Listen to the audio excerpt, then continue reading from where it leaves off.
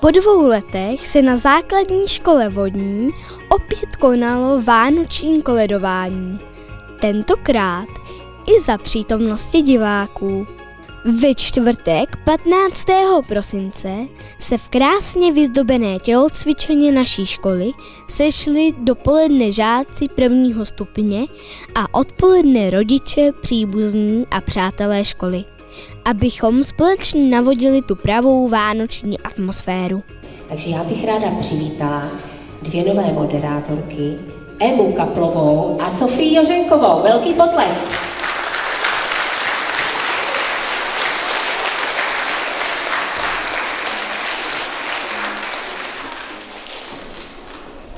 I my vám přejeme krásný adventní čas. Pojďme se vánočně navadit pěveckým sborem Rolnička, který vede paní Marie Nevímová.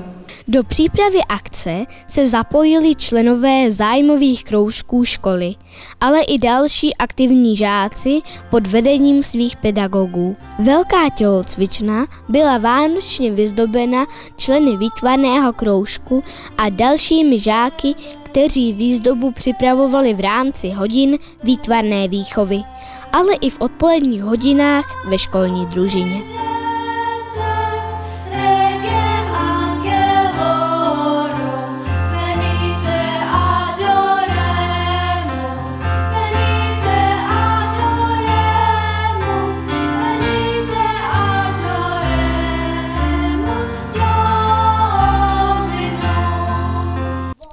Vchodu do tělocvičny probíhala výstavka prací členů kroužku keramika. Vánoční punč a cukroví na občerstvení připravili děti z kroužku vaření.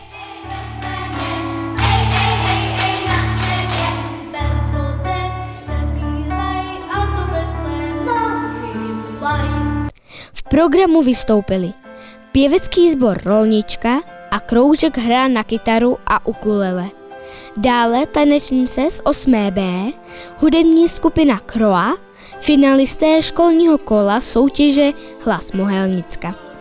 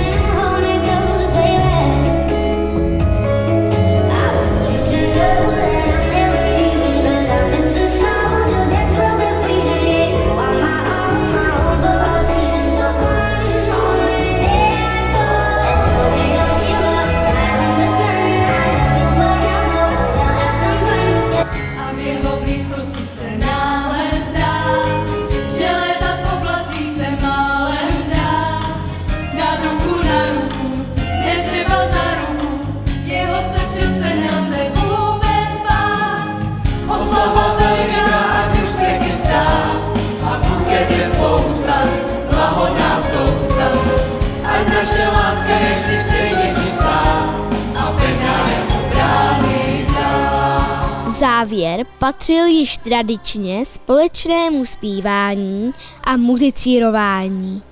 Celým programem nás roky provázel bývalý žák naší školy Šimon Švup.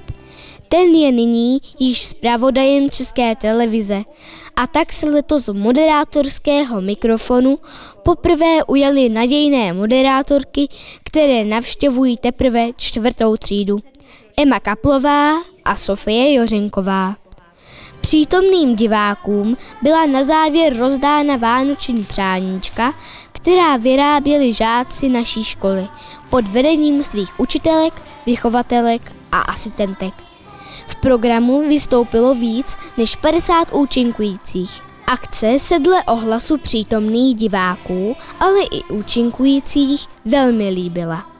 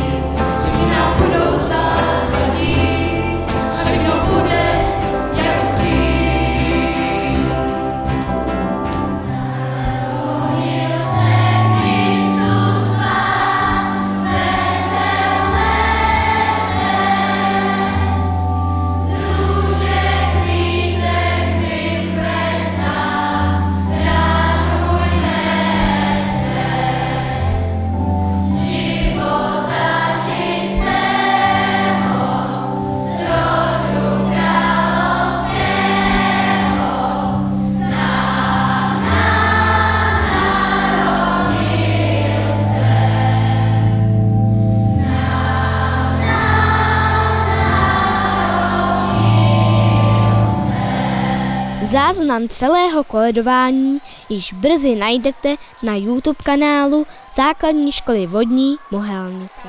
Všem, kteří přispěli k navození pohodové předvánoční atmosféry, patří opravdu velké poděkování.